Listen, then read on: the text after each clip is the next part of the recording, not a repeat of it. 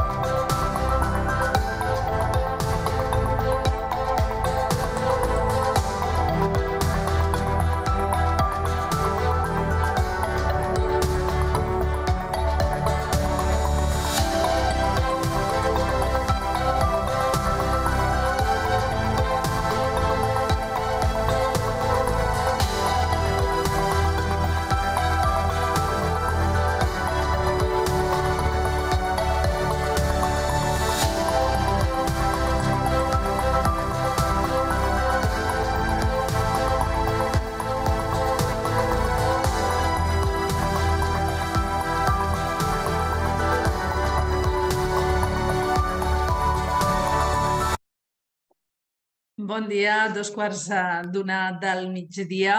Uh, això comença a acabar-se. Arribem a l'acte de cloenda d'aquesta 32a edició de l'Escola d'Estiu de l'Àrea d'Igualtat de Sostenibilitat Social de la Diputació de Barcelona.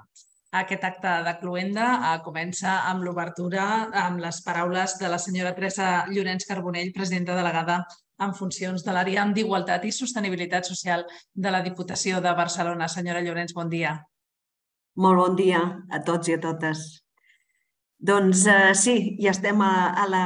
Al, anava a dir la recta final, però sí, és la, ja l'entrada l'entrada a la meta d'aquesta setmana de l'Escola d'Estiu, d'activitats intenses i també eh, en primer lloc, excusar la diputada Moret, que volia ser aquí en la cluenda, però per qüestions d'agenda doncs, ha estat impossible i, per tant, també en nom seu agrair-vos doncs, també la participació eh, de tots i totes vosaltres al llarg d'aquesta setmana, tant sigui presencial com virtualment, doncs, que heu fet hem fet possible entre tot l'equip de l'àrea d'Igualtat i Sostenibilitat i els propis ajuntaments, els participants, hem fet possible doncs, aquesta setmana de treball, de compartir coneixement, de compartir reflexió, de compartir intercanvis, idees eh, respecte al treball, a les polítiques locals i també no només aquestes idees de reflexió, de debat, d'intercanvi, sinó també de pràctiques i de l'acció professional doncs, que han estat també en, en, el, en el centre. Ens hem apropat durant aquesta setmana doncs, amb formes d'intervenció social guiades per la voluntat doncs, de, especialment de la innovació i de la transformació, perquè sempre hem defensat, sempre hem dit, sempre no només ho hem dit, sinó que també ho hem portat a la pràctica. Entenem que els municipis, les polítiques locals, són transformadores i aquesta és la voluntat. Una transformació que, que implica, que requereix de una extensió i una profundització també dels drets que han de ser doncs, capaços de respondre a un context de més desigualtats des d'aquesta perspectiva de la interseccionalitat i també des d'una perspectiva que sigui inclusiva. No? I sempre amb aquesta idea de l'escolta, d'escoltar les persones, d'enfortir les comunitats. No? I, per tant, des d'aquest punt de vista entenem que els municipis i també els ens locals en el seu conjunt hem de poder ser els promotors d'aquests nous drets, no? com el dret que pot ser a les cures, com el dret al temps, com a l'accessibilitat digital o també al benestar emocional.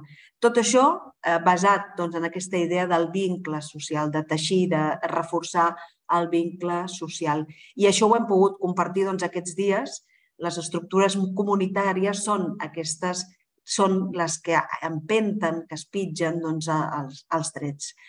Um, volíem aprofitar doncs, per fer una mica breument no? de reflexió, de, de, de síntesi d'aquesta setmana de, de treball abans d'escoltar aquesta conferència final, aquesta de diàleg que es podria propiciar doncs, final, Però en aquesta primera jornada que iniciàvem el dilluns passat, escoltàvem que hem de poder doncs, recuperar el valor polític del dret a les cures, fonamentat doncs, en aquest paradigma de, de la inversió social, és a dir, aquelles polítiques preventives i comunitàries. I hem tingut també l'oportunitat de parlar-ne doncs, amb dues figures per nosaltres eh, que, que són importants des del punt de vista que ens han volgut compartir o ens van voler compartir les seves experiències personals. La Carme Elias, actriu, i l'Octavi Pujades, actor, que ens han ensenyat o ens van parlar de la importància eh, de, també de la, que les persones grans estiguin actives, estiguin integrades a la societat, que se les escolti,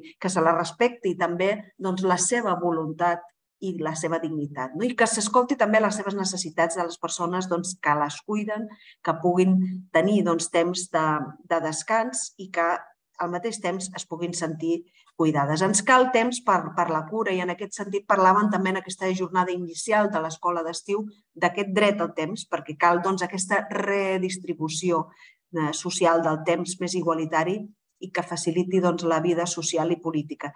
Per tant, ens cal més vincle social i per això també necessitem un espai públic que sigui inclusiu i reivindicar aquest dret, aquest dret a la cultura i a l'espai públic com allò que dona sentit doncs, a viure conjuntament en una societat plural i que constitueix comunitat. Per avançar en els drets i en la innovació social també ens cal repensar, ens cal transformar els propis serveis públics i ho hem vist doncs, en relació a les cures perquè la majoria de persones volem doncs, envellir a casa en el nostre entorn més proper, en aquell entorn que és el nostre entorn. I per això doncs, hem vist que la reflexió de que cal avançar molt en models i per això en aquesta sessió, en aquesta segona jornada que vam fer, doncs, ens presentaven algunes propostes que garanteixin la continuïtat de l'habitatge amb la comunitat i recursos com el cohousing o els habitatges amb serveis on es promou doncs, aquesta accessibilitat, el suport a les necessitats de l'atenció a la dependència, però també d'aquesta interacció, d'aquesta participació social.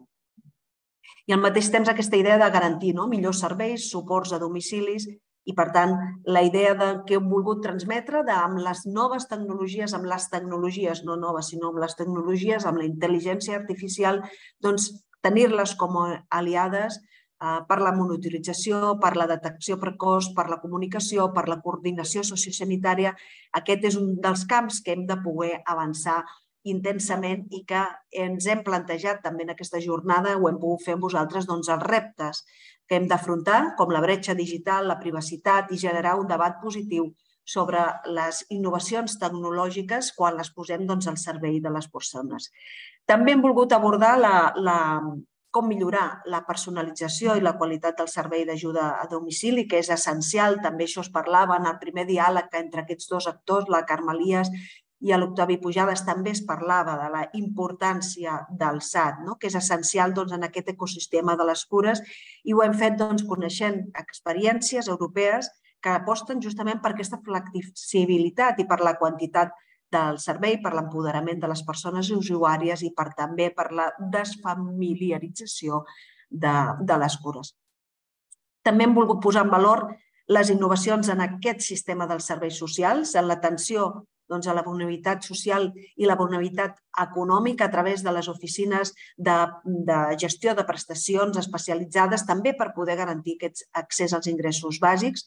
I també hem vist doncs, diferents experiències municipals de territoris de tot l'Estat que ens mostren doncs, com les administracions locals són claus per poder garantir aquest benestar i com amb la mesura també som administracions que hem de poder fer que aquests serveis siguin més accessibles, que siguin més propers, que siguin més eficients i que articulin també aliances territorials eh, amb els agents doncs, qui pugui haver en un determinat territori, però també amb la pròpia ciutadania. I, per tant, administracions, serveis que hem de promoure i hem d'acompanyar doncs, els canvis de noves maneres de fer, de transformar aquests serveis públics que ens han de portar doncs, cap a nous models d'intervenció per poder garantir la protecció social, les cures, la inclusió, la convivència i també el benestar emocional. Tercera jornada de dimecres també abordàvem el tema importantíssim que és el del benestar emocional. No? I per tant, també hem vist que des d'accions locals ja pot haver aquests impactes positius i, per tant, a través de l'anàlisi, de l'evidència científica, eh, també el, els estudis i les propostes que us hem pogut posar sobre la taula per treballar, sobretot amb els col·lectius, amb, amb l'adolescència, amb, amb els adolescents, amb els joves, per poder abordar com treballar tots els temes del benestar emocional. I sobretot també heu fet pràctica dels temes vinculats al benestar emocional a través dels tallers que també us vam proposar de com poder liderar aquesta, la pròpia emocionalitat, com poder acompanyar en el desenvolupament doncs, de competències emocionals, d'habilitats per la vida i la cultura emocional i fent possible doncs, que hi hagi una millor intervenció a nivell local. Ja en la quarta jornada que teníeu ahir vam parlar doncs, de la importància de l'accessibilitat als drets, als serveis, a la comunicació i també a les oportunitats i que no n'hi ha prou doncs, segurament en garantir els drets, que també cal eh, assegurar aquesta accessibilitat i de poder doncs, enfortir les oportunitats educatives, les oportunitats socials, culturals, de participació i de salut. I sobretot des d'aquesta perspectiva que sempre posem sobre la taula de gènere i interseccional.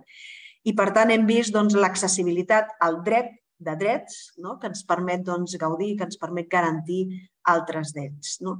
L'accessibilitat cognitiva o l'atenció eh, personalitzada i també entenedora. I ho escoltàvem, ahir doncs, hem de generar confiança amb l'administració i sobretot incorporar necessitats, capacitats, aspiracions de, de la ciutadania. Heu pogut doncs, veure diferents exemples al llarg de, de la jornada d'ahir. Aquest, doncs, eh, pensem que és un d'aquests elements eh, claus no?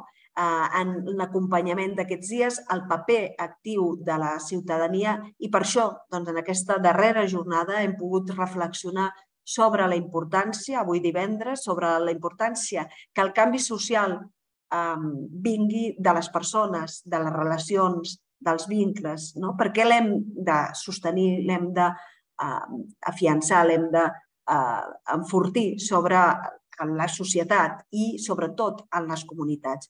I per això uh, reflexionem, per això posem sobre la taula que necessitem tenir i que hi hagin comunitats vives, que hi hagin comunitats que siguin actives i, i en memòria i en capacitat de poder construir futur. I també que siguin, evidentment, inclusives. inclusives. I en aquesta darrera sessió de la jornada d'avui, d'aquesta escola d'estiu, també hem posat eh, la importància de poder eh, posar en relleu l'envelliment actiu, no? per tal de que les persones, en qualsevol edat, siguin partíceps de la societat i també hem parlat de com afrontar doncs, el sensellarisme, no? perquè l'accés a una llar és doncs, la primera condició bàsica d'una vida digna per la inclusió social i comunitària. En definitiva, aquesta escola d'estiu que acumula doncs, aquesta trajectòria de 32 anys, hem volgut doncs, al llarg de tot el mandat, però especialment en aquesta darrera edició, al llarg de tota la setmana, incidir, com ja venim fent, incidir en la innovació, incidir en la transformació social des del coneixement, des de l'intercanvi, des de la transformació. I la transformació és també aquest aprenentatge i aquest coneixement, no? o dit d'una altra manera, amb aquesta escola d'estiu posem el coneixement al servei de la transformació social. I, per tant, voldríem doncs, agrair la participació de, de, dels ponents, d'aquests 55 ponents que hi ha hagut d'aquestes més de 500 persones que heu participat en aquestes activitats d'aquesta setmana que ens heu aportat, no només els ponents, sinó les persones que heu participat, ens heu aportat noves mirades, nous punts de vista diferents que ens permeten doncs, abordar aquells elements claus que han de guiar aquesta transformació social als municipis. I el punt i final doncs, d'aquesta doncs, escola d'estiu, com vam començar, d'una manera, mm, jo crec que eh, amb un diàleg, amb una reflexió des de el, a nivell personal no? d'aquests dos actors, la Carme Elias, l'Octavi Pujades, volíem posar-lo també amb una aportació, amb unes reflexions doncs, que ens poguessin fer eh, a través de la veu, eh, de, del treball, del coneixement, de l'experiència del Club de les Males Madres i de la seva fundadora, la Laura Baena, eh, cómo podemos aprender a partir de las experiencias de las vivencias y sobre todo del compromiso y, del hecho de, tejer comunidad, ¿no? También virtualmente a veces también se teje esta comunidad, ¿no? Sobre todo por la pandemia hemos tenido que hacerlo, ¿no? Y cómo podemos cambiar las políticas que pueden hacer posible una sociedad que sea más igualitaria eh, que es lo que en definitiva yo creo que todos, al menos desde nuestra administración y, los que estamos aquí, seguro que compartimos.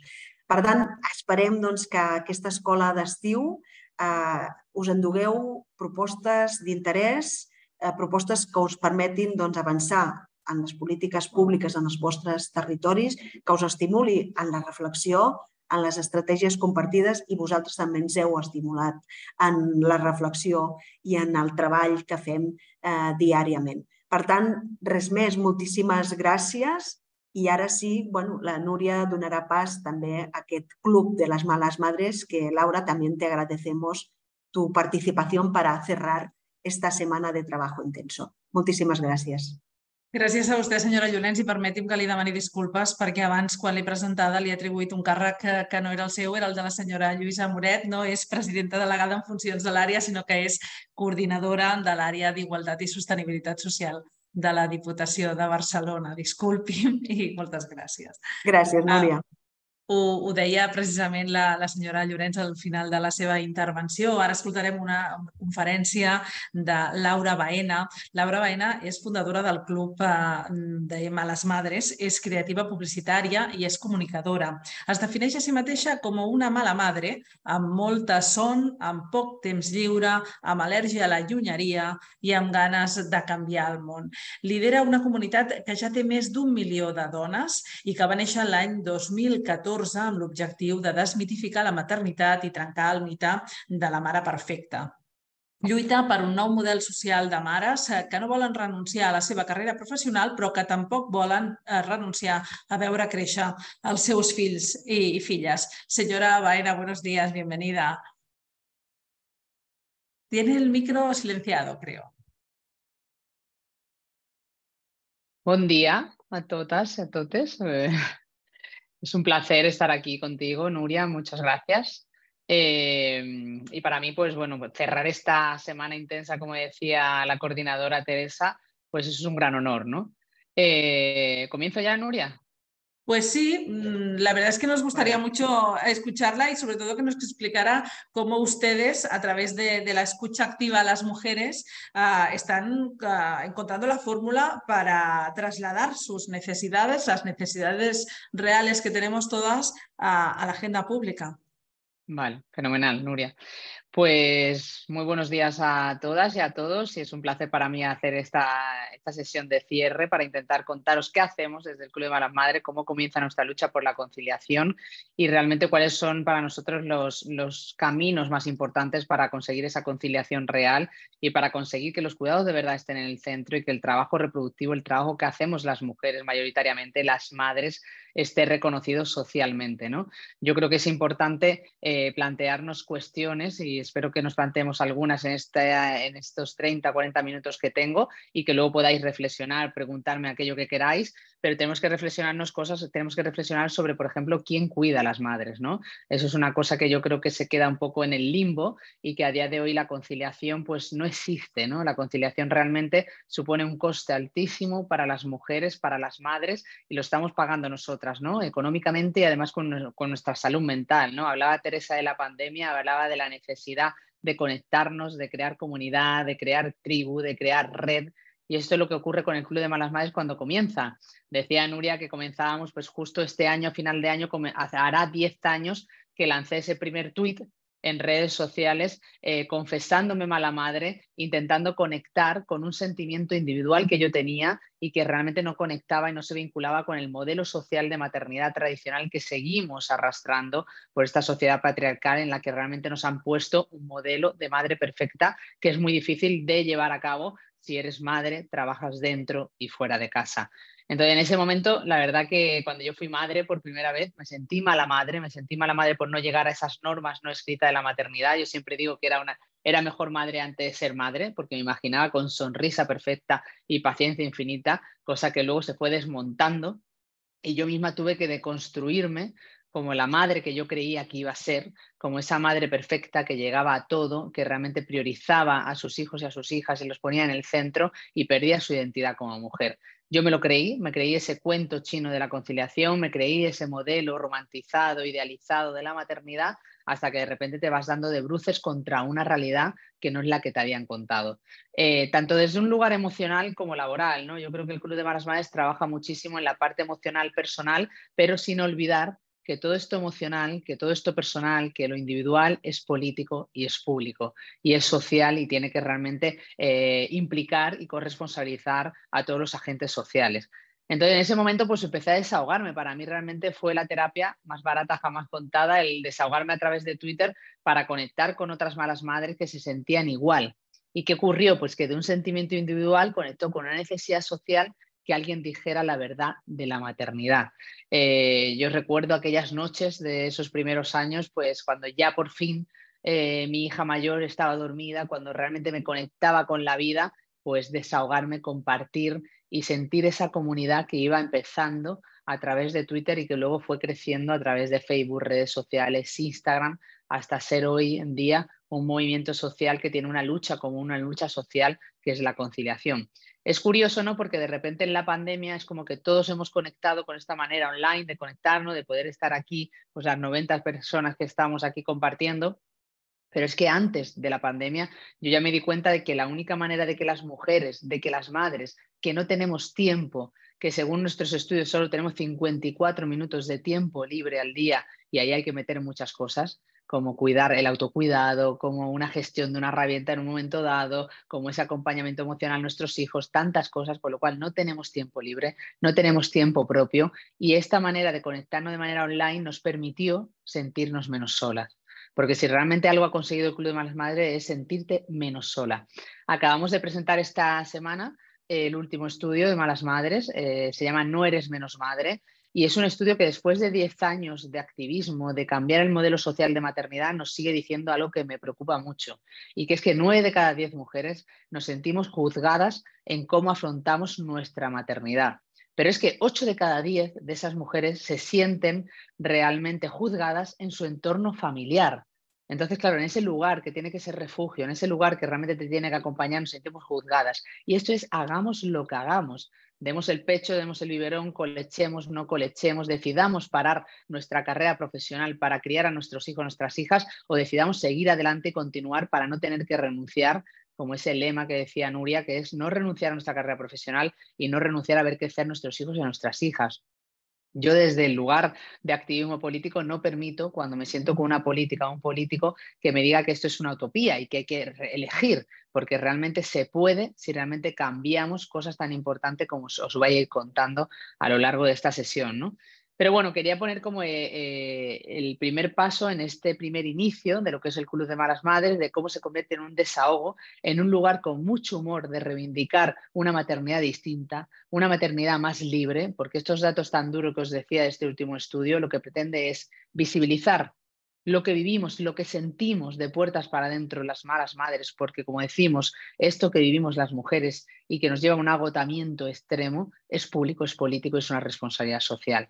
Y a partir de ahí, construir una comunidad en la que con mucho humor y, mucha frescura podemos compartiendo esos tips diarios que no nos hacen menos madres, sino que simplemente nos ayudan a corregir un modelo que no funciona en un sistema que falla en muchas ocasiones con respecto a las madres y a los cuidados y a partir de ahí pasar a la acción. Una de las cosas importantes de la comunidad de malas madres desde el inicio es que no solo nos quedamos en la queja, en la reivindicación, sino que realmente también pasamos a la acción. ¿no? Y hoy os voy a contar cómo pasamos a, esos proyectos que de esa comunidad se, se pueden convertir incluso en políticas públicas efectivas o en trabajo con empresas, con instituciones o con las propias familias. Entonces, a partir de ahí, eh, ¿qué ocurrió? Yo estuve durante dos años en ese club de malas madres, en ese desahogo nocturno, en ese desahogo en Twitter, pues compartiendo anécdotas, conectando, haciendo red de apoyo a través de las redes sociales, en un momento que era como el inicio de los blogs de maternidad, en los inicios de hablar de la maternidad de otra manera, y ahí justo coincidió con mi renuncia Yo tuve que renunciar a mi carrera profesional, yo era creativa publicitaria en una agencia, eh, llevaba cinco años dejándome la piel, pero cuando me quedé embarazada, lo primero que me dijeron, esto, es, esto no es una empresa para mamis y bebés. Con este ejemplo y esta, y historia personal los quiero poner sobre la mesa lo importante que es cómo recibimos, cómo acompañamos a las madres desde nuestro lugar.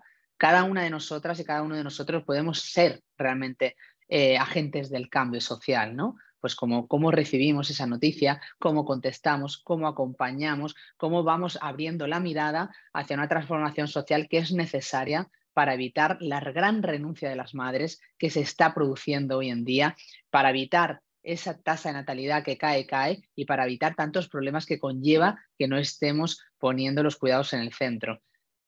Después de intentarlo durante dos años, eh, yo siempre digo que durmiendo menos, comiendo menos y viviendo menos, eh, renuncié a mi carrera profesional con mucho dolor, eh, pero con un sentimiento en ese momento curioso, ¿no? porque yo en ese momento creía que estaba eligiendo pero no estamos eligiendo.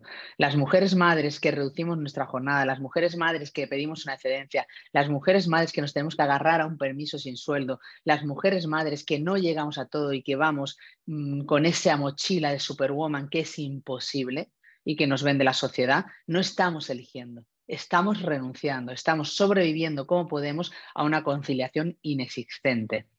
Entonces, en esa renuncia, pues de repente empecé a compartirla en redes sociales también, empecé a compartir contenido, a compartir reflexiones, como decía Teresa, lo importante de parar y reflexionar sobre estos temas, escuchar, compartir.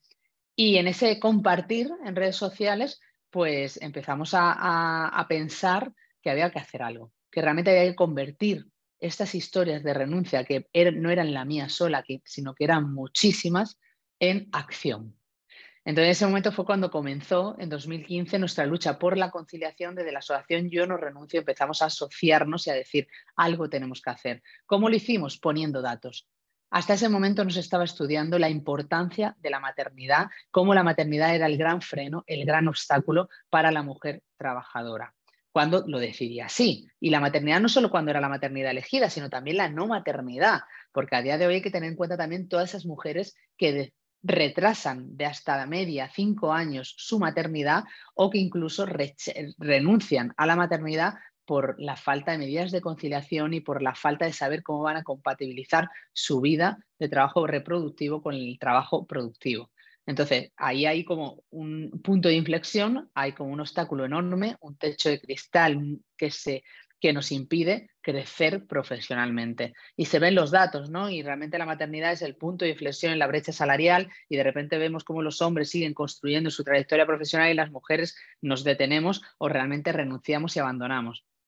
Entonces, en ese momento, lo que, hicimos, lo que quisimos es poner sobre la mesa los primeros datos. Hicimos un primer estudio, Concilia 13F, que nos vino a decir que el 80% de las mujeres madres no pueden conciliar y que solo teníamos 54 minutos de tiempo libre y que además más de la mitad había vivido situaciones negativas derivadas de su maternidad. La maternidad se veía como un y se veía y se sigue viendo como un problema social dentro de la empresa y eso es lo que tenemos que realmente reflexionar y cambiar porque el modelo laboral no está funcionando. Entonces ahí lo que vimos es como que había, ahí hicimos una primera división entre las barreras internas y las barreras externas que afectan a la conciliación de las mujeres. Hay una serie, una serie, de barreras internas que pueden ser las creencias, la cultura, la educación, el cómo nos cuesta a las mujeres delegar la maternidad, compartirla, la falta de corresponsabilidad, la falta de implicación de, nuestras parejas cuando son hombres. Todo eso es una parte de esas barreras internas, pero es que además hay unas barreras externas, porque faltan políticas públicas efectivas, porque realmente no hay una concienciación social de lo que es la corresponsabilidad de conciliación y porque además en el mercado laboral pues hay un freno clarísimo cuando más del 90% de excedencia y reducciones de jornada las cogemos las mujeres. Para nosotras, ahí en esos primeros estudios lo que vimos es que realmente, tal como nos vendían la conciliación en España y en la mayoría de los países en Europa, con una reducción de jornada o una excedencia son trampas a la conciliación. No tenemos por qué empobrecer.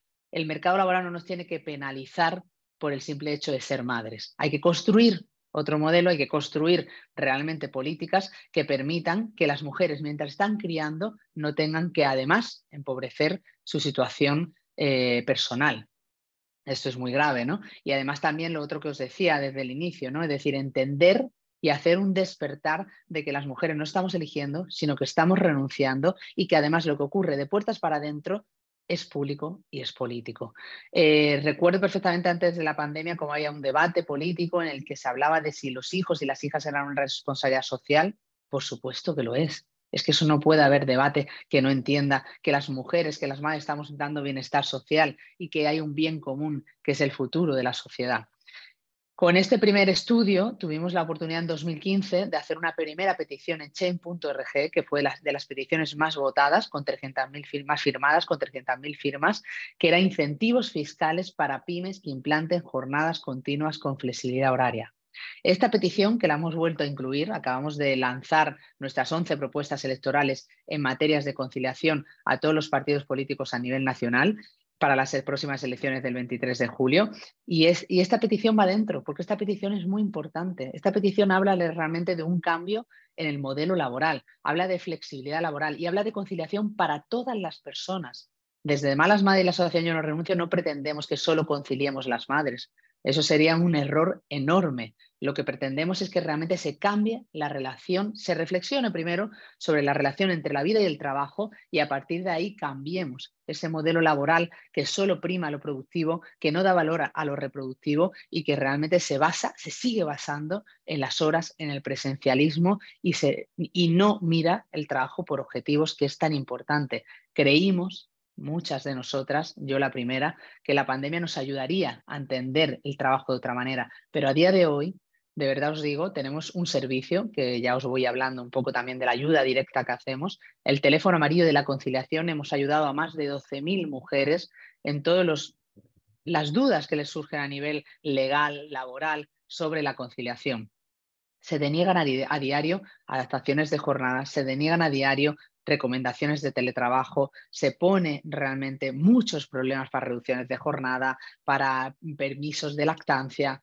La realidad que hay en el mercado laboral y que hay en la mayoría de las empresas sigue siendo muy dura. Y eso tiene que venir con un cambio social y por eso necesitamos que las instituciones, que los gobiernos, como decía Teresa, tengan un compromiso real y que empiecen a dar pasos, que muchas veces no es solo políticas públicas efectivas, sino también abrir, reflexionar, concienciar, visibilizar, dar datos y a partir de ahí pasar a la acción desde nuestro lugar, cada una como realmente podamos.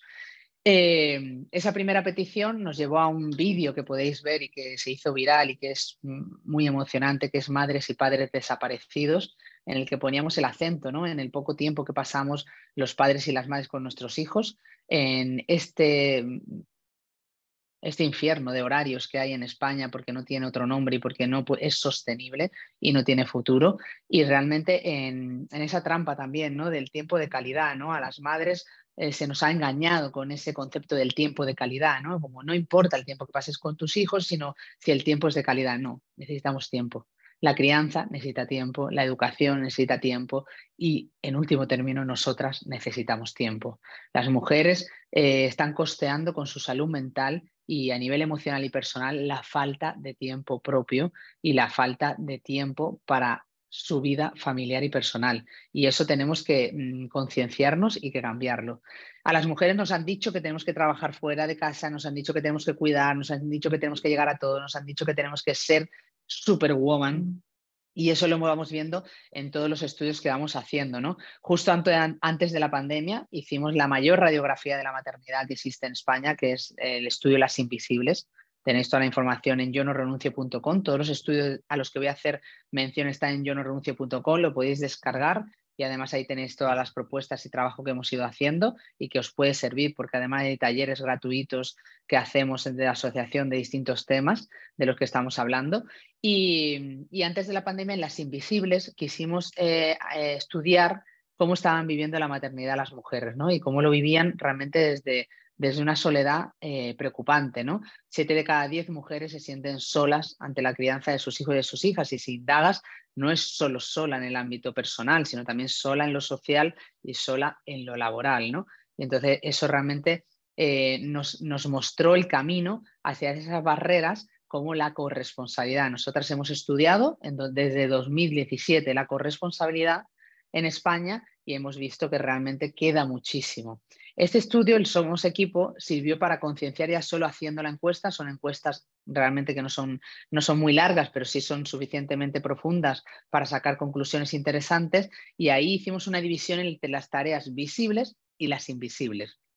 ¿Qué ocurre? Evidentemente vamos evolucionando, evidentemente cada vez hay más hombres implicados, más padres corresponsables, pero no es suficiente, porque los hombres, la mayoría de las tareas que hacen son las visibles. Las tareas visibles son aquellas que tienen un inicio y un fin, que se pueden simultanear a otras tareas y que no tienen la llamada carga mental. Entonces, las tareas visibles, ¿cuáles serían? Hacer la compra, llevar a los niños al colegio, bañarlos, todas esas actividades que son físicas, que aparte tienen mucho reconocimiento social, son muy visibles, vemos más hombres en los supermercados comprando, vemos a más hombres en las puertas de los colegios, pero ¿qué ocurre con las tareas invisibles? Las tareas invisibles son todas aquellas que cargamos las mujeres en su mayoría, bueno, casi por completo, y tienen una gran carga mental porque se pueden compatibilizar con otras tareas y porque realmente no tienen un inicio ni un fin. Los requerimientos de las escuelas, los grupos de WhatsApp del cole, solo un 8% de los hombres están en los grupos de WhatsApp del cole, la organización de las, la organización de las vacaciones y la organización de la conciliación en verano. Eso cargamos nosotros con ello y además de cargar con la organización, es que también si alguien tiene que renunciar, si alguien tiene que parar su carrera para conciliar, somos nosotras. Durante la pandemia, una de cada cuatro mujeres renunció a todo parte de su empleo para poder cuidar. Ese dato, que es de la pandemia, es un dato similar cuando llegan los juegos de la conciliación en verano o situaciones de crisis como una pandemia. Entonces, eso nos dice que toda esa carga mental, esa falta de corresponsabilidad, está siendo un obstáculo enorme para la mujer madre y está llevando a que esa tasa de natalidad tampoco aumente, porque en las invisibles también se decía que siete de cada diez mujeres tendrían más hijos e hijas si contaran con medidas de conciliación y corresponsabilidad. Entonces, cuando de repente en los debates, muchas veces cuando estoy en debates en medios de comunicación, se habla de que las mujeres hoy en día no queremos tener más hijos o no queremos tener hijos, claro que hay un porcentaje de mujeres que tienen que ser libres y decidir que la maternidad no es la plenitud y no es lo más importante de tu vida, pueden ser otras cosas, pero además hay mujeres que están truncando su deseo de ser madre porque no existe el contexto social. Para que una mujer quiera ser madre y desee ser madre y el deseo llegue, hay algo muy importante de lo que somos responsables todas las personas, que es generar un contexto social acorde para poder realmente desarrollar esa crianza y para poder desarrollar tu carrera profesional si también la quieres. Entonces, eso es muy importante, ¿no? Y después de, esa, de ese estudio que os decía de las invisibles, llegó la pandemia, porque justo eh, este estudio lo lanzamos en febrero de 2020.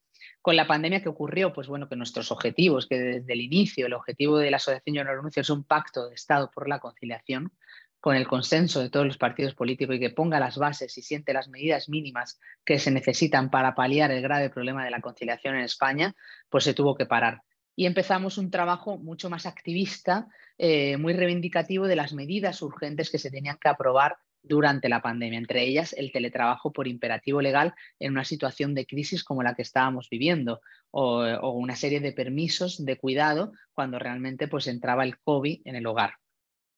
¿Qué, ¿Qué, ocurría? Que además de ser medidas concretas, eran medidas importantes porque aquello que definiéramos durante la pandemia teníamos la esperanza de que se iba a mantener, como el teletrabajo. El, trabajo a distancia se reguló en octubre de 2020, pero no llegó a tenerse en cuenta algo muy importante para nosotras, que es la flexibilidad. Tú no puedes teletrabajar si no tienes flexibilidad, no tiene sentido. Y además, en la regulación se quedó a la buena voluntad del acuerdo que llegara el empleado, empleada y el trabajador y trabajadora. Eso al final nos lleva a esa sentencia que os digo, a esos procesos judiciales cuando se deniega el teletrabajo o la adaptación de jornada, aunque esté eh, regulada por ley. Eh, después de este momento de activismo, como digo, y tan intenso durante la pandemia, pues volvimos un poco ¿no? a nuestros objetivos de, de prepandemia a ese objetivo de un pacto de Estado por la conciliación y ese trabajo intenso que hemos tenido en estos últimos años, sobre todo enfocado en la corresponsabilidad. ¿no? Hemos hecho muchas campañas, eh, como por ejemplo el Padre Corresponsable, podéis buscarla en, YouTube, el, el vídeo El Padre Corresponsable es un vídeo con mucho humor en el que realmente interpelamos a los hombres para que sean parte de esta carga mental que os decía y de estas tareas doméstico-familiares que normalmente las invisibles, las feas, la que no gusta tanto, las hacemos nosotras, las mujeres. Y a partir de aquí, pues eh, mientras, eh, porque os decía, toda esta parte política, toda esta parte realmente de transformación social, eh, tiene mucho que ver con un cambio sistémico. ¿no? Es decir, nosotras trabajamos por ese cambio sistémico porque realmente se cambien las estructuras que, que no funcionan para que las mujeres, madres, no tengamos que renunciar. Hoy en día, seis de cada diez mujeres renunciamos a nuestra carrera profesional por el simple hecho de ser madre. Este es un dato alarmante y además conecta con otros datos que salieron del siguiente estudio que hicimos, que es el coste de la conciliación. El coste de la conciliación es un estudio súper interesante que tenéis también todos los datos en yonorenuncio.com y que viene a estudiar, vale, ahí decíamos, la conciliación le está saliendo gratis al Estado, a la sociedad, a, todo el mundo, pero está teniendo un coste muy alto para las mujeres. Ese coste no es, un no solo un coste económico, porque una de cada dos mujeres perdemos salario cuando llega la maternidad. Eh, ya sabéis también el impacto tan grande que tiene luego en las pensiones en el futuro, pero es que además tiene un coste altísimo emocional, personal y en la salud mental. Y eso lo vimos sobre todo en la pandemia, ¿no? cuando se disparó esa situación de falta de corresponsabilidad, esa situación de, criar, de cuidar, de educar en casa a la vez que trabajábamos y que saltó por los aires los dos pilares fundamentales de la conciliación, como son las abuelas y como son las escuelas y los colegios. Hay un dato muy curioso en esto de las abuelas, ¿no? y, y es que eh, cuando un hijo o una hija enferma, solo el 8% de los hombres interrumpe su jornada laboral siendo eh, en un 38% las abuelas y mayoritariamente, evidentemente, las mujeres. Esto nos dice mucho ¿no? de la importancia del peso que tienen las abuelas eh, en España y de las escuelas cuando cierran en momentos como pandemias o el verano. Eh, entonces, mientras conseguimos ese cambio sistémico, mientras conseguimos hacer incidencia política y que realmente se tenga en cuenta este, este pacto de Estado por la conciliación, pues tenemos que poner los cuidados en el centro, tenemos que trabajar la corresponsabilidad. Eso se puede hacer desde las instituciones, de las administraciones públicas, con talleres, con incidencia en la calle, con muchas acciones que estamos haciendo nosotras desde la asociación. Eh, las redes formales del cuidado. ¿no? Eh, justo ayer contestaba una entrevista por, la, eh, por el debate que hay en Francia ¿no? de si el, calendario escolar tiene que cambiar ¿no? para que no haya tantos meses no lectivos en Francia eh, con los niños y las niñas porque, porque dispara la brecha y la desigualdad. ¿no? Eso en los colegios y las escuelas son un lugar seguro para muchos niños y, cuando están cerrados pues mm, aumenta esa brecha. Y, y, yo reflexionaba sobre, no se trata de que el calendario lectivo cambie, puede mantenerse, pero sí se trata de ver las escuelas y ver los centros públicos desde otra mirada. O sea, las escuelas son un lugar seguro para los niños y las niñas. Las escuelas deberían organizarse de manera que fueran redes formales del cuidado, tanto en verano como en periodos no lectivos, que ayudaría muchísimo a muchas familias, sobre todo a las más vulnerables. Entonces tenemos como que repensar esas maneras en las que hemos usado lugares como las escuelas no solo para educar, sino que son lugares realmente que se pueden entender como lugares de apoyo a las familias. ¿no? Hay como un rechazo muy grande desde la comunidad educativa a decir que los colegios son para guardar a los niños. No son para guardar a los niños, evidentemente no, pero tenemos que ser conscientes de la realidad de las familias, de la realidad del sistema laboral, de la realidad del modelo laboral. Mientras todo eso cambia, tenemos que establecer esas redes formales del cuidado, porque si no, la única salida será la renuncia de las mujeres que volvamos a casa para cuidar, porque realmente el sistema no empuja a renunciar. Entonces, bueno, también además de esa parte, ¿no? Y que la trabajamos con las instituciones las ciudades, nosotros hemos sacado eh, ese sello ciudad corresponsable. Eh, hemos trabajado con muchas ciudades el tema de la corresponsabilidad y el ver cómo las propias ciudades puedan apostar por, por ser más inclusivas, más corresponsables, más conciliadoras, eh, tener en cuenta la igualdad, la sostenibilidad, porque me gusta ¿no? el título de, del área de igualdad y sostenibilidad. Es que, es que cuando hablamos de conciliación hablamos de sostenibilidad, hablamos de futuro y hablamos de todo lo que tiene que ver con, tener una mejor relación más saludable con la vida, con el trabajo. No, no se trata solo de, tener tiempo para producir, ya sea dentro o fuera de casa. Y además de esas ciudades corresponsables, que es uno de los proyectos que, que más me emocionan, y que comenzamos el año pasado, también tenemos las empresas comprometidas. ¿no? Nosotras, desde la Asociación Yo No Renuncio, tenemos empresas que se comprometen cada una desde su nivel porque nadie lo hace perfecto, porque no hay una ciudad corresponsable, porque no hay una empresa 100% corresponsable, porque no, hay una familia 100% corresponsable, pero todos estamos cambiando desde unos valores y desde, una, y, y desde una, un convencimiento de que sabemos que tenemos algo que hacer. Entonces, en esa parte de las empresas comprometidas, pues trabajamos en distintos niveles, desde talleres hasta un trabajo interno de estudiar cómo lo están haciendo, eh, preguntar a los empleados y empleadas y ver cómo se puede mejorar. Y muchas veces ese freno que hay en las empresas de que parece que la conciliación supone mucho dinero y mucho tiempo, no es real.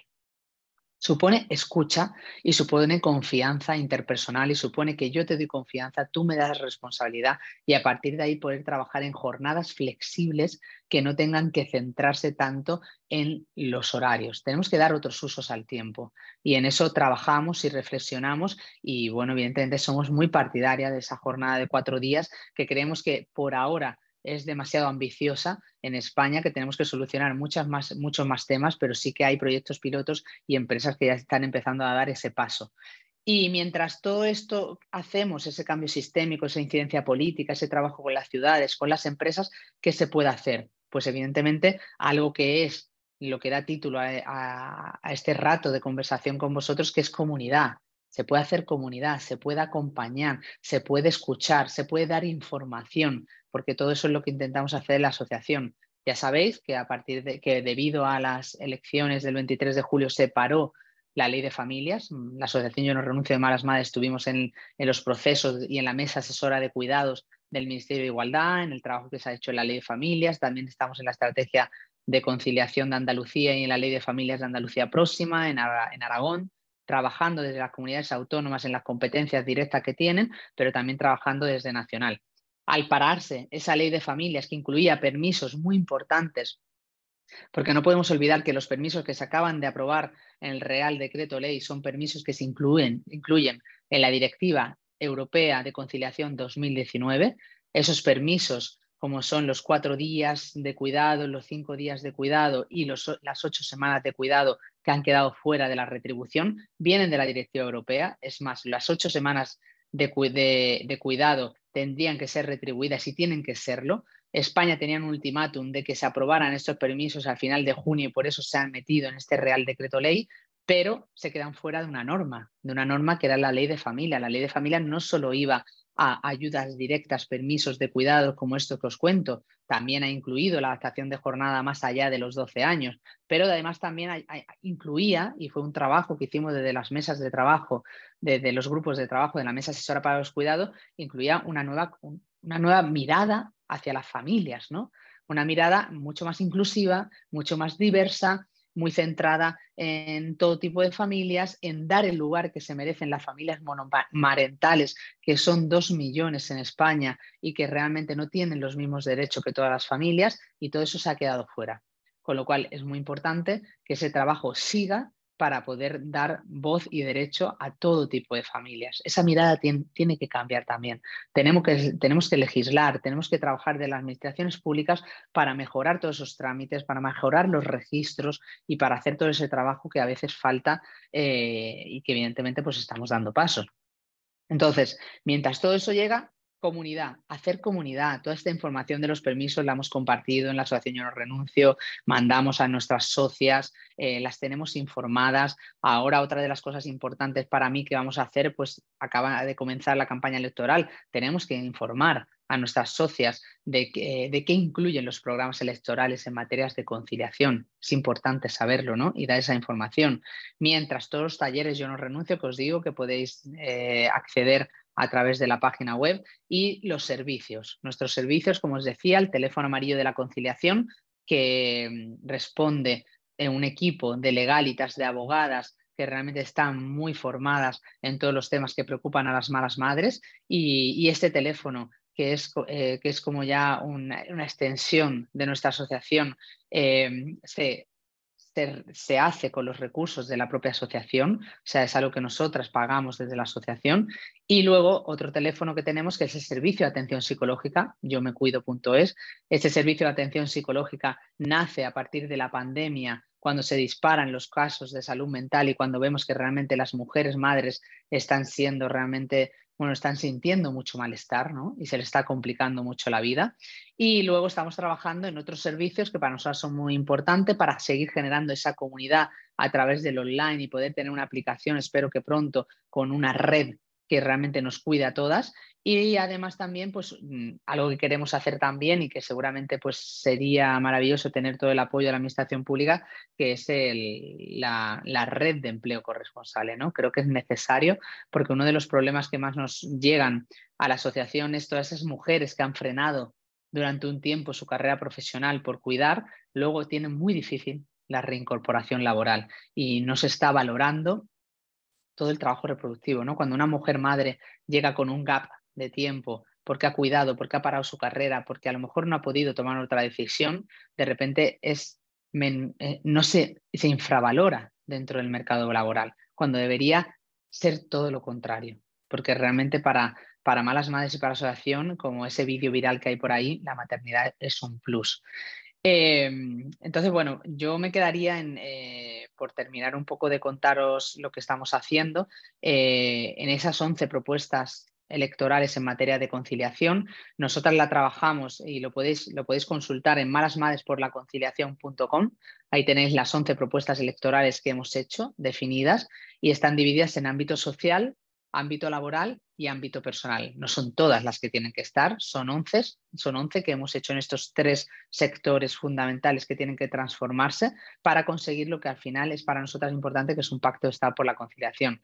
Estamos recogiendo firmas, las estamos llevando a los distintos partidos políticos y realmente ese es un poco el camino en el que estamos ahora mismo. Y siempre con esa reflexión tan importante que además apuntaba Teresa al inicio, que es qué puedo hacer yo, ¿no? Yo, yo siempre que eh, nunca imaginé que desde mi historia de renuncia, de que mi historia personal y se iba a convertir en mi misión, en mi propósito para hacer comunidad y para intentar que mi renuncia tuviera un sentido. Ahora mi renuncia tiene un sentido porque lucho para que ninguna mujer tenga que renunciar cuando llega la maternidad.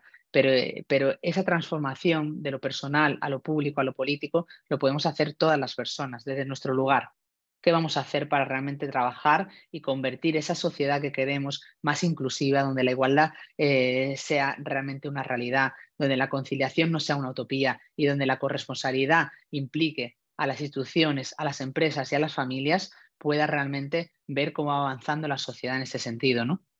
Entonces, bueno, pues ese, eh, terminar con esa, con esa intención, ¿no? De quedarnos con esa reflexión y compensar realmente qué podemos hacer desde nuestro lugar yo sé que cada una de vosotras, cada uno de vosotros, si estáis aquí es porque realmente estos temas os importan y vais a empezar a activar eh, esa imaginación, esa creatividad que muchas veces no necesita tantos recursos ni tanto tiempo, sino simplemente la intención y el valor de querer una sociedad eh, más igualitaria y más sostenible.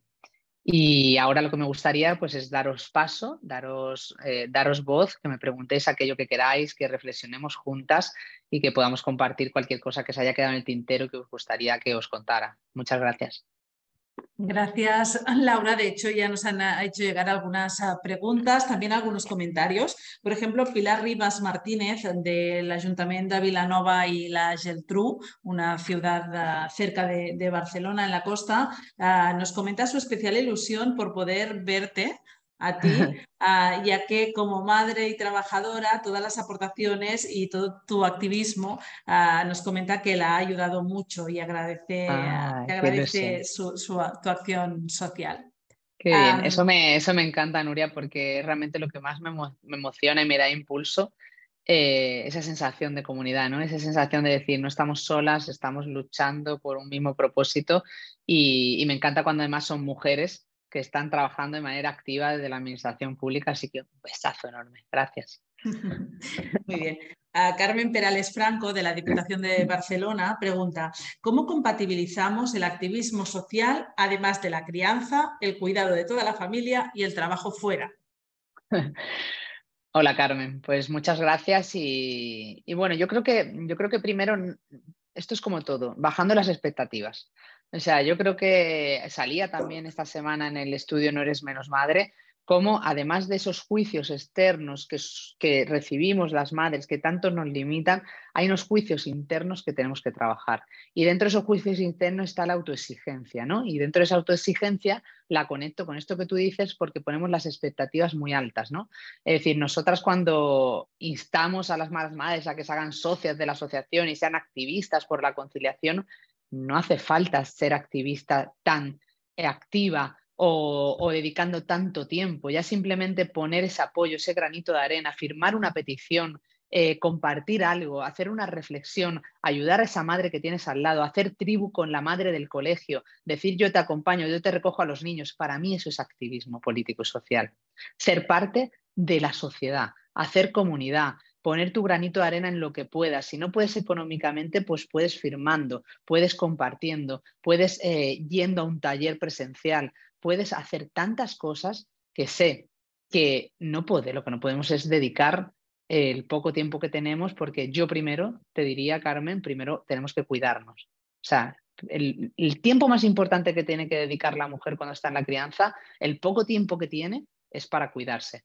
Pero sí que creo que tenemos una relación con el tiempo muy mala. Y tenemos una relación con el tiempo muy basada en las expectativas de tener que ser esa superwoman, de tener que llegar a todo, de una crianza perfecta, de una crianza que necesita mucho más de lo que realmente necesitan nuestros niños y nuestras niñas. Yo creo realmente que tenemos que cambiar esa mirada porque cuando tú cambias esa mirada y, lo ves más desde el ser y desde el estar y desde qué te nutre a ti, se puede, se puede. Y se puede siendo activista, evidentemente, y siendo activista y proponiendo en el trabajo otra manera de trabajar. Yo desde mi lugar, yo tengo un equipo de nueve personas, nueve personas que teletrabajamos cada una desde un lugar, que tenemos flexibilidad total y que no hay que mandar un justificante médico cuando tienes que ir al, al dentista o no tienes que justificar que tienes que ir a acompañar a tu hija a una tutoría y entendemos el trabajo de otra manera. Y ese tiempo que queda, primero para el autocuidado, porque tenemos que estar bien nosotros y tenemos que cuidarnos, las mujeres y las madres. Y a partir de ahí sí que creo que se pueden hacer muchas pequeñas cosas en el activismo que son granitos que hacen grandes cambios profundos. Entonces, bajar las expectativas, bajar la autoexigencia y decir realmente a mí qué me importa de verdad que me importa de verdad porque a lo mejor estoy dedicando tiempo a cosas que no me están eh, dando esa satisfacción que te puede dar el asociacionismo y el activismo. Necesitamos que las mujeres entiendan que el asociacionismo es importante para conseguir el cambio social. Gemma Parera, también de la Diputación de Barcelona, te pregunta, ¿hay países europeos con políticas más avanzadas de conciliación? ¿Tenéis algún modelo de referencia? Mm, yo no creo que haya un modelo de referencia, porque realmente España es buen modelo de referencia en muchas cosas y creo que somos pioneros en, muchas cosas, en mejorar los permisos de maternidad y paternidad, eh, en los permisos que, que, acaban de aprobarse ahora, pero sí que llegamos tarde, ¿no? Llegamos tarde, sí que hay una conciencia, sí que es verdad que los países nórdicos, los países europeos tienen una conciencia de la crianza, de la presencia y de realmente el tiempo eh, la importancia y el valor del tiempo reproductivo y del trabajo reproductivo, del trabajo de crianza, que eso tenemos que aprender. Tenemos que aprender a entender que el trabajo reproductivo y el tiempo de crianza sí tiene valor. Y eso en España todavía no hemos llegado. Entonces creo que hay que más, no hay tanto un modelo de políticas públicas efectivas, porque yo no estoy de acuerdo con muchas de las políticas que hay en Europa, como por ejemplo, pues eh, tener una partida económica directa por cada hijo o hija. Creo que eso hay que tener mucho cuidado, que sí que puede tener un valor para aquellas familias más vulnerables, pero que también tiene es un arma de doble filo, porque lo que lleva es a una renuncia de las madres al mercado laboral sí que creo que tenemos que mirarnos en países como Suecia, en esos permisos de maternidad de hasta un año, evidentemente, que es el mínimo que deberíamos tener y, poderlo compartir siendo una parte transferible. Creo que una parte debería ser intransferible y otra parte transferible y que lo decidan las familias y, la pareja. Pero, eh, como te digo, hay cosas, hay debates como el de Francia, que me parece un debate interesante. En Francia hay bolsas de horas corresponsables en las empresas. Eh, hay, medidas concretas que sí que podemos mirar, pero para mí no hay un reflejo único, ¿no? Sí que hay un trabajo bueno y creo que tenemos que, ser más ambiciosos que la directiva europea y hay una directiva europea 2019 en conciliación a la que todavía España no ha cumplido. Entonces, bueno, eh, ya está el ultimátum de Europa y, mínimo eso es importante, ¿no? Pero hay muchos países europeos que todavía no han llegado tampoco a esa, a esa directiva europea. Con lo cual sí que yo confío mucho en el trabajo de Europa en el trabajo de conciliación que se marca desde las directivas europeas y, en mejorarlas desde España si realmente tenemos eh, gobiernos que, que prioricen los cuidados y que entiendan lo que realmente defendemos desde la igualdad, la conciliación y la corresponsabilidad. Ah, siempre tendemos a pensar ¿no? en este modelo de, pareja, ¿no? pero hay una pregunta que precisamente nos abre el tema de la monoparentalidad, sobre, bueno, en general, pues si tenéis algún tipo de, propuesta en este sentido. Bueno, ya lo he mencionado, ¿eh? para, lo he mencionado la monoparentalidad y para mí es muy importante, es más, yo le llamo monomarentales porque el 80% de los hogares que crían eh, una única persona son madres. Eh, somos parte de la Federación Española de Familias Monoparentales, FAMS, y trabajamos de la mano de Carmen Flores, de Miriam Tormo, que están haciendo una labor impresionante. Y por supuesto, en nuestras 11 propuestas electorales en materia de conciliación está la medida que tiene que ser aprobada urgente de esos permisos que deberían ser dobles para esas familias monoparentales, porque aquí lo que prima cuando se habla de familias monoparentales, lo que prima es la perspectiva de la infancia y el derecho del menor. Es decir, mm, todos los niños y todas las niñas tienen derecho a ser cuidados al mismo tiempo, independientemente de la familia en la que, nazcan. Entonces, bueno, ahí hay mucho trabajo que hacer porque las familias monoparentales no parten desde los mismos derechos y, tenemos que, trabajar de la mano de ellas porque cada vez son más y cada vez son más mujeres las que por libre elección deciden ser madres solas. Entonces, eso también hay que, hay que protegerlo porque eh, es que hay que hacer una protección social a la maternidad y a la maternidad de todos los ámbitos y de todas las decisiones que tomemos, ya sea en pareja o no, porque es una nueva realidad y es una nueva realidad social que muchas mujeres eh, deciden tener un hijo sola. Entonces eso hay que protegerlo, hay que ampararlo y los niños y las niñas tienen que tener los mismos derechos, con lo cual siempre, siempre unidas. Ahora estamos con las familias monomarentales también, una de las organizaciones de la Ley de Familias de Andalucía, la Mesa Asesora para los Cuidados han estado presentes y para nosotros es siempre una parte muy importante. Has, aportado diversos mensajes ¿no? sobre la forma de, encarar la, maternidad, esta idea de que no tenemos que ser perfectas, que las superwoman no existen, ¿no? Por tanto, ya lo has dicho, pero sí que para terminar te, pediríamos si puedes lanzar un mensaje para esas futuras madres que nos están escuchando en este momento. Y quizá también para los padres ¿eh? que, que lo están haciendo. Sí, los padres que den un paso al frente, ¿no? Necesitamos que los hombres den un paso al frente, se corresponsabilicen, no por obligación, sino por derecho y por disfrute, por querer realmente ejercer su derecho a ser padres y a ser presentes, ¿no? Es súper importante. Pero, pero bueno, el cambio va a venir lento porque aparte eso es una cosa que también hemos estudiado y hemos trabajado mucho y cuesta mucho eh, alejarse de esos privilegios que le vienen dados por el simple hecho de ser hombres, ¿no? Pero cada vez hay más.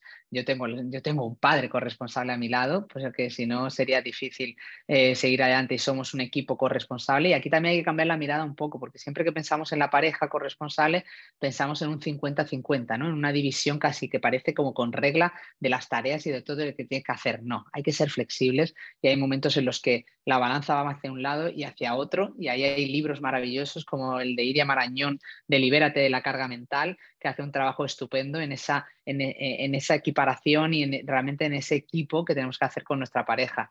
Y respecto a la madre perfecta, pues imagínate, es que hay que liberarse, hay que liberarse de, de, ese modelo ¿no? que nos hace muchísimo daño, del que somos responsables todas las personas, porque somos responsables las otras madres, somos responsables los medios de comunicación, somos responsables las campañas de publicidad, eh, hay una responsabilidad social en ese modelo que seguimos manteniendo y donde entra en juego algo muy importante que es las redes sociales. ¿no? Yo creo que tenemos que creernos menos lo que vemos, tenemos que entender más aquella maternidad que vivimos, abrazarla, abrazar el caos y entender que somos las mejores madres que podemos ser que la maternidad perfecta no existe y que realmente la maternidad no se mide en si das el pecho, das el biberón, colechas, no colechas, das potitos ecológicos o le das un gusanito una noche y descansas. No pasa nada, ¿no? Hay que vivir esa maternidad con más humor y desdramatizar porque realmente lo hacemos lo mejor que podemos y creo realmente que tiene mucho valor hoy en día ser madre, trabajar, llevar toda la carga que tenemos y, bueno, y nosotras y yo les animo a las madres que vayan llegando que entren en el Club de Malas Madres porque nos reímos mucho, nos reímos mucho con las anécdotas, Nuria, y con sentirnos menos sola porque siempre digo mal de muchas, consuelo de malas madres. Así que si te pasa algo hoy, seguramente tú piensas que hay otra madre que se está sintiendo identificada contigo. Pues mira, la verdad es que no, paran de llegar felicitaciones por la, por la labor que estáis haciendo y precisamente ese sentido del humor lo subraya Marta Alonso Jané y te dice, yo agradezco el sentido del humor del club ah, y que gracias a eso se ha podido hablar de la maternidad desde la realidad. Y te dice muchas gracias por todos los avances. De esta manera, si te oh. parece, Laura, terminamos. Muchas gracias. Hoy me he puesto más seria porque tenía que hablar de conciliación pero ya sabéis que yo intento desdramatizar siempre que puedo. Muchas gracias, Nuria. Ha sido un placer, de verdad. Muchas gracias a la Diputación, a Teresa y a todo el equipo de la Escuela de Estiu, que es un honor. Muchísimas gracias a Laura y animar a todos a participar en el club, que como decía se puede hacer de muchas maneras económicamente, pero también de muchas otras con, con muchas ah, modalidades de dedicación de tiempo. Gracias, buenas, buenos días. Muchas gracias. Doncs uh, ara sí, posem ja pràcticament al punt i final. Han passat moltes coses aquests cinc dies, coses que han passat presencialment a l'espai Francesca Bonmeson i d'altres, moltes també, que han passat virtualment a través d'aquesta pantalla en la que ara ens estem veient hem assistit a conferències, algunes autèntiques masterclass, hem assistit a xerrades, hem escoltat 55 ponents d'autèntic luxe, ens ho deia la senyora Llorenç. Hem conegut experiències que esteu fent tots vosaltres a diversos municipis i també d'altres que s'estan fent a, a fora. Hem fet tallers, hem tingut moments de networking amb un cafè o un suc a la mà, amb sol i també en vam tenir a pluja. Esperem que tot plegat eh, us hagi permès més a partir del coneixement, tenir ganes d'impulsar nous projectes, d'innovar, en definitiva, com ens convidava a fer la vicepresidenta Moret dilluns passat en la inauguració d'aquesta escola que ara tanquem i fer-ho per transformar la societat i entre tots aconseguir fer-la una mica millor. Ha estat un autèntic plaer compartir pupitre durant tota aquesta setmana amb tots i totes. Molta sort, bona feina i molt bon estiu.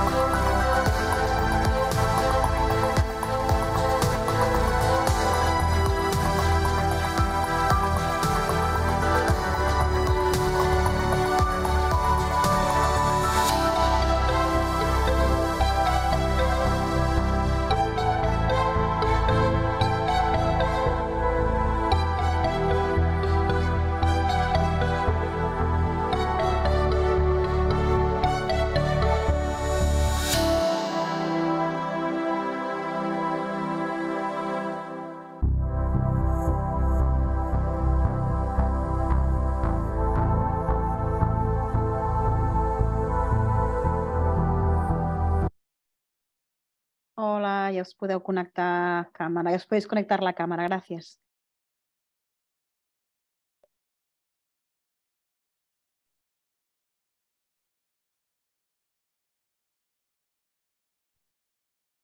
Laura, no sé si la tenemos o se ha ido. Se ha ido, Laura. Bueno, doncs ens felicitem entre nosaltres, no? Hem acabat, no? Molt bé. Gràcies, Núria. De res, Perquè- a vosaltres. Vamos, has estat com sempre, però ens tens molt ben acostumades, però felicitats. Gràcies. Gràcies. Igualment. ha anat tot molt rodadet, no? Ha quedat molt xulo, sí. A més, aquesta noia ho fa molt bé, o sigui que... Super, super. Bueno, doncs anem a dinar, no? Sí, no? Sí. Bueno, gràcies, Bueno, Maria, eh, que no t'hem vist Gràcies, mai la cara. Cristina. Eh? Adéu, doncs Gràcies. moltes Abraçada. gràcies. Adéu. Adéu, que vagi bé.